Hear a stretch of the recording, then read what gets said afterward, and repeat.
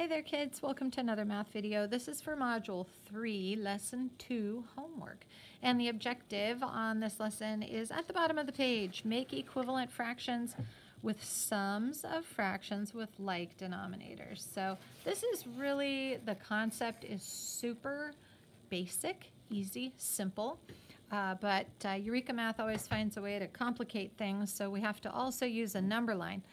Now, when you're looking at the number line, it may help you to see what's happening.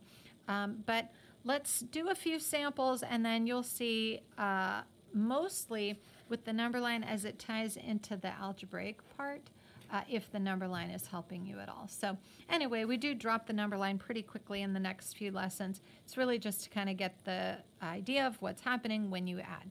So let's get into it. If you have not watched the problem set video and you don't really know what you're doing, please go watch the problem set video, take down your notes, get a little practice under your belt before you try your homework. Also, you should be finishing your homework before you watch this video so that you can just check and make sure you got all the parts uh, and that you're kind of on the right track. Okay, so we're going to show each expression on a number line, solve. So this is an expression. An expression does not have an equal sign. So we're going to create a number line. You could do that for each of them, but we'll just do one at a time. And notice that the denominator is ninths, so that I'm going to create a 0 to 1, but it has to be in nine parts. When you look at number one, that means it's all nine parts out of nine. So in between here, we have to have eight more pieces. One, two, three, four, five, six, seven, eight, and nine. Some kids will say, oh my gosh, how did you get those exactly? I, I'm just really, I don't know, I've done a lot of these. I'm just guessing. Um, when you think about how many pieces you have to get on there, I always like to try to find that middle, but this one didn't have a middle, so I was just kind of guessing. Eh, I need about four here and about four there. So now number them. This is the first tick mark after the zero, so this is one ninth, this is two ninths, three ninths, four, five, six, seven, eight, and they're all ninths. It's like your label okay? And so uh, if I have 4 ninths plus 1 ninth, then we're always going to be starting at 0. And so you get yourself over to here to the 4, but then you're still going to add, went right past it, right there to 5. So this is your 4 ninths, okay? And this is your 1 ninth. And so when you have 4 plus 1, you end up at 5. And that's the solve part. You're getting the answer. So it's really just looking at those numerators. That's the part you're adding. Move the bottom part across because that's the label. It's like saying, you know, four bananas plus one banana equals how many bananas? Well, it's five bananas. So the label, the label is on the bottom. This time we're not dealing with ninths, we're dealing with fourths. And we're going to have more hops because here we have a big hop and a small hop. Here we're going to have all the same size, but this one we have only four pieces. So if this is four fourths, that would be one, and this is zero fourths. So the halfway would be our two fourths. Half of that would be one fourth, half of the other would be your 3 fourths. 0, 1, 2, 3, 4. Notice that it's just, if you make your halves, it kind of can help you have evenly spaced pieces. And this isn't perfect, but it's close enough. All right, so we have our 1 fourth plus 1 fourth plus 1 plus 1. So when you add all those up, you end up at 4 fourths. So hopefully you're getting the hang of this. I want you to notice that we have one, that any number over itself, four fourths, two halves, eight eighths, whatever it is, if you have that over itself, it's equal to one, okay? Another number line here, and we have sevenths, so we're gonna have zero sevenths. If you wanna start from your left, you can do that uh, and just go one, two, three, four, five, six, seven. And that will be your one. That way you can just go equally distance. You can use a ruler if you're really particular, but that just takes up a lot of time. And this is an art class, and we're not selling these. We're just trying to do a little math. Okay, and we're going to have two and two and two. So you're going to have a hop of two, hop over, that's for two as well, hop over again. And you can anticipate what's coming. Two plus two plus two is six. So you think, okay, I should end up at six sevenths for my final answer. Another number line. Now here is where we have our algebraic look to it.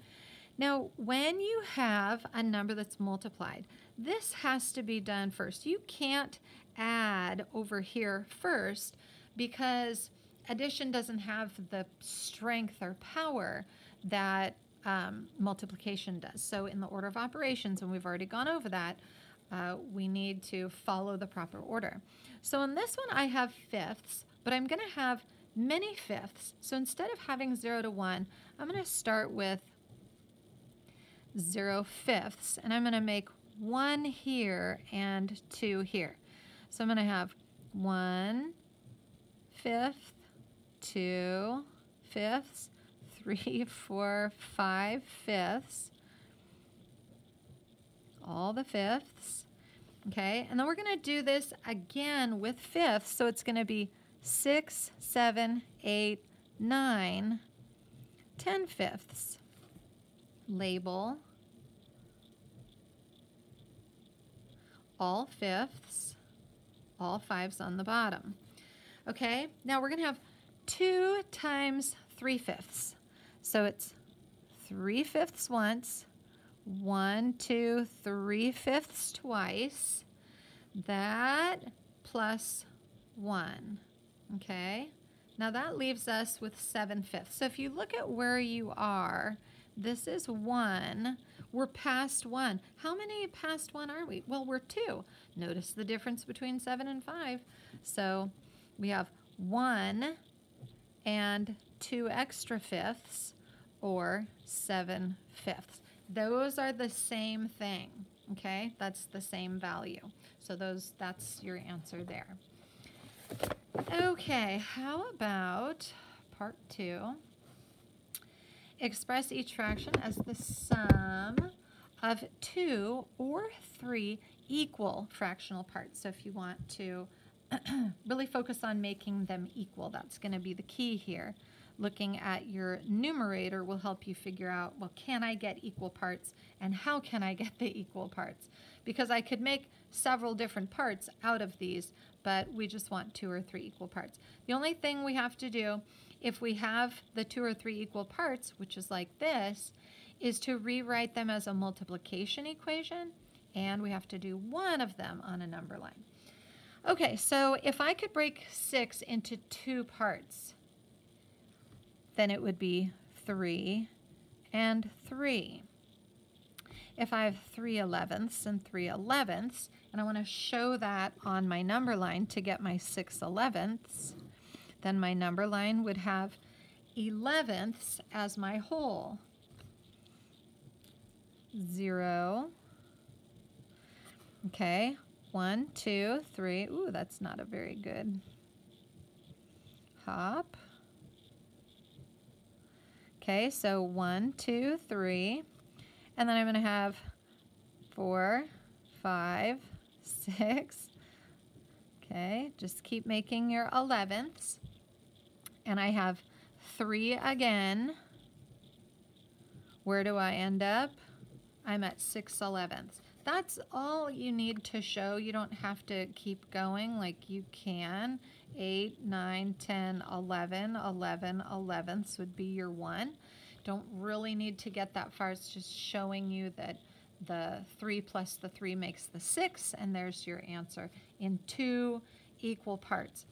Also, 2 times 3 elevenths is supposed to be shown so that you can show the algebraic part uh, as a multiplication equation. And since it's an equation, uh, you can go ahead and It's not the expression, it's the equation. And so we can put the answer. Okay, hopefully that's helpful. You don't need to do the number line for the others, but I want you to think about two or three equal parts. Now, since 9 is not evenly divisible by 2, it is divisible by 3. So you want to have 3 plus 3 plus 3 to give you your 9 fourths. So how many times is that repeated? Well, it's repeated three times.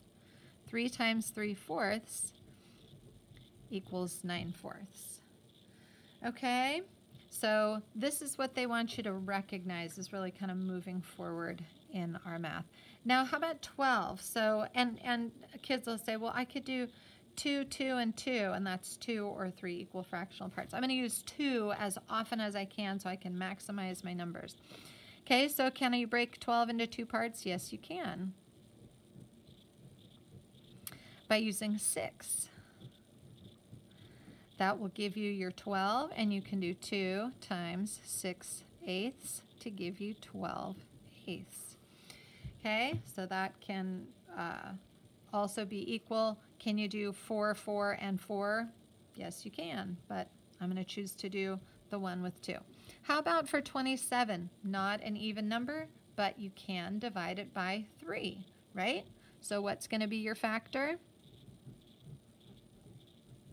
9 because 9 and 9 and 9 make 27. So how many times did we repeat this fraction? Three times. And so then that is what we're solving with multiplication versus addition. Okay, I hope that makes sense for you. All right, and then on the back here, express each of the following as the sum of a whole number and a fraction. Show part C and D on number lines. So what do you mean? Well, look at the fraction. If you've watched the other videos, then you know what happens when you have a big number on top. That means that the value is greater than 1. So if you have a whole number and a fraction, we're greater than 1. The whole number is the 1 or 2 or 3, and then the fraction is what's left over after we uh, show this in parts. So take your 9 fifths, and how many pieces would make a whole? Remember to look at your denominator, and if you put that on the top, then this equals 1. All 5 fifths make 1. Okay, so how many are left over between 9 and 5? Well, there are 4 left over. So if I have all 5, so if, if I had 5 fifths and I add 4 fifths, I would get my 9 fifths. So to show as the sum of a whole number and a fraction, basically it's 1 plus 4 fifths. Here's your whole number, here is your fraction. Here's your whole number, here's your fraction. This is basically the same thing, but this is the whole number. Okay, so this is called a mixed number, and this would be your fractions showing this 1 as a whole number. How about 7 halves? So can you break this in two pieces or three pieces?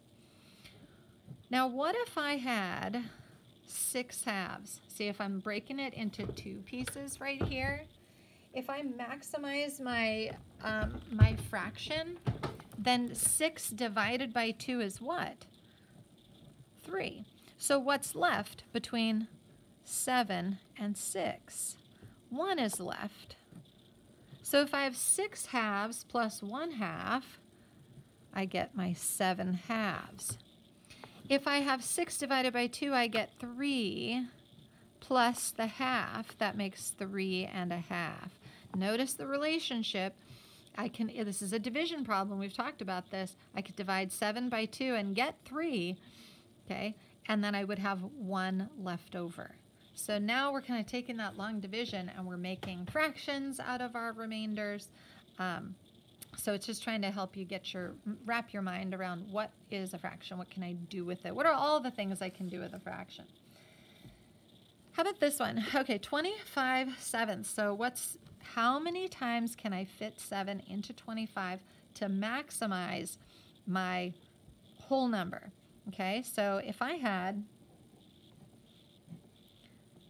21 sevenths, okay, just like I did up here, I want to maximize it. What's the difference between 25 and 21? So if I have 21 sevenths plus 4 sevenths, I'm going to get my 25 sevenths. Okay, what is this whole number? Well, that's going to be 3. So 3 plus 4 sevenths, there's your 3 and 4 sevenths. So now I have a mixed number. I have this improper fraction. Uh, I could do 7 sevenths plus 7 sevenths plus 7 sevenths. That would be three of them. If you have to do a number line like you do for this one because C and D are on number lines,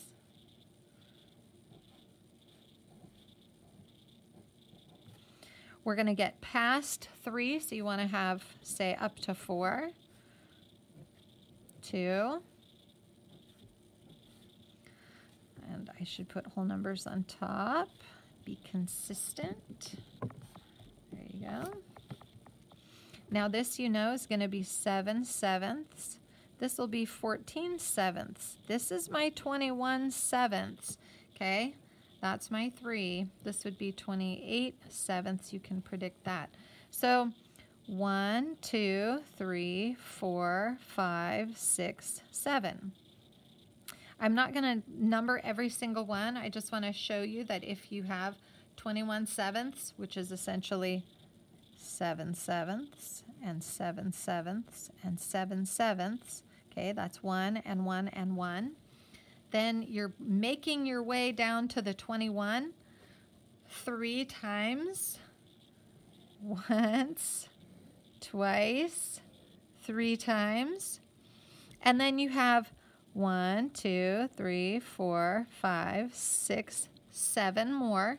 And we have four that we have to count. So it's one, two, three, four. Okay, so here's your three and four sevenths. So what would that be? 22, 23, 24, 25. And that's where your answer lives on the number line. This is here and here. Okay, so that's, I don't know, the only benefit really to the number lines is just seeing it visually. How about for 21 ninths? How many ninths can you fit into 21? Well, I could fit uh, 18 ninths. That would give me my two wholes. And what's the difference between 21 and 18? And so we're going to have our uh, whole number and fraction. Whole number and fraction. This is your 2. This is your fraction. And your number line. This time we have ninths as our label. We have to get past 2, but only to 3. 1, 2. And these are in ninths, so this would be your 9 ninths. Now I have I have all the 9 ninths once and then all the 9 ninths twice to get me the 2. Once, twice.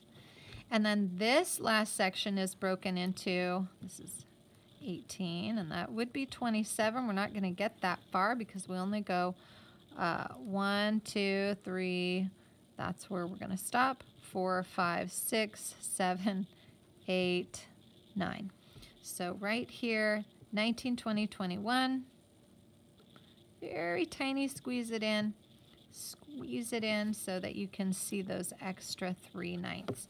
So it's 2 full 9 ninths plus 9 ninths or 1 plus 1 plus the 3 ninths. Okay, so I hope that is helpful for you to see those on the number line. It's super time consuming and yeah, we don't use them for a very long time. All right, last one. Oh yeah, click subscribe if you like the math videos. Come back again. I got problem sets. I've got I'm working on homework videos. Um, okay, so here we go. Natalie sawed five boards of equal length to make a stool. Each was nine tenths of a meter long. Here's your fraction. What is the total length of the boards she sawed? She sawed five. There's your number. Okay. Uh, express your answer as the sum of a whole number and the remaining fractional units, kind of like we're making mixed numbers up here. Draw a number line to represent the problem. It's going to be a long number line because we have five times the 9 tenths. So it's 5 times 9 tenths is basically what you're showing. So each time we have the 9 tenths, that's a whole number divided into 10 parts. So, and we have to do it five times. So we're going to go one, two, three, four, five. And that can be your whole number. And we can make six, but don't need it. Um, and each of these uh, singles has to be broken into 10 parts because our, our tenths is right here. So that's going to be 0 tenths and 10 tenths. This is 20 tenths because 20 divided by 10 is 2. And this is 30 tenths because 30 divided by 10 is 3. And so on. And so on. Okay, now to show how it's going to hop uh, the sum of the whole number and the remaining fractional units, we're going to have our 9 tenths five times. So show that on the number line. Here's five. One, two, three, four, five, six, seven, eight, nine, ten. Here's your fifth one. One, two, three, four, five, six, seven, eight, nine, ten. One, two, three, four, five, six, seven, eight, nine. Tenth is already there. One, two, three, four, five should be in the middle. Six, seven, eight, nine. Tenth is already there. One, two, three, four, five, six, seven, eight, nine. Ten is already there. Five of equal length of nine tenths. So here's your first top. Right to the nine tenths. That's one. Now from here, if you have to really count your tick marks, good luck, be careful. But I know that 9 plus 9 is 18. So I'm going to go right here to my 18 tenths and I'm going to show my hop just like that. Okay, put a little dot if it helps you to stop.